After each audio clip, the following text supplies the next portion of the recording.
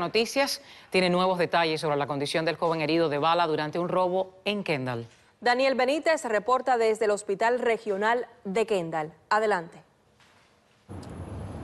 Sí, muchas gracias Félix. Alejandra, muy buenas noches. Hoy América Noticias conversó con la persona más cercana al joven Cristian, quien continúa recuperándose de manera satisfactoria aquí en el Hospital Kendall. El mismo no facilitó estas imágenes que usted verá primero aquí en América Noticias.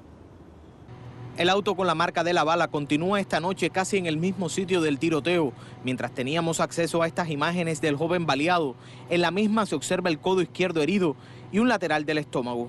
Su compañero de cuarto, quien por temor prefiere ocultar su rostro, nos habla sobre la recuperación de Cristian. ¿Y en el hospital qué te han dicho? Que está estable, que está bien. O sea, no va a haber que operarlo ni... No creo que no. Según conocimos, Cristian tiene 18 años de edad.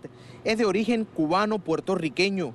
Anoche se encontraba estudiando y volvía a su casa cerca de las 2 de la mañana cuando tres individuos le intentaron robar. Uno de ellos le disparó. Me decía que se sentía mal, que estaba fatigado, le faltaba el aire. Y cuando yo le levanté el pullover vi que tenía un tiro y ahí llamé a la policía y los bomberos y se lo llevaron. ¿Mucha sangre? No, algo normal. El miedo se ha instalado en este vecindario habitualmente tranquilo. Nosotros caminamos por aquí todas las noches con los perros los niños y nunca hemos tenido ningún tipo de inconveniente realmente. Eh, me parece muy, muy extraño realmente. Ha sido muy, pero muy tranquilo el vecindario. Sentimos un poco de temor aquí en la casa. Por todas estas cosas, no es algo habitual.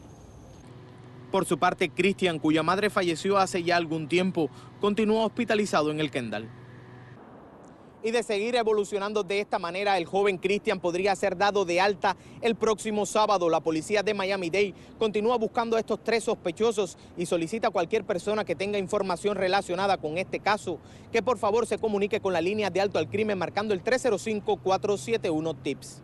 Desde el suroeste de Miami, yo soy Daniel Benítez. Continúen con más en el estudio.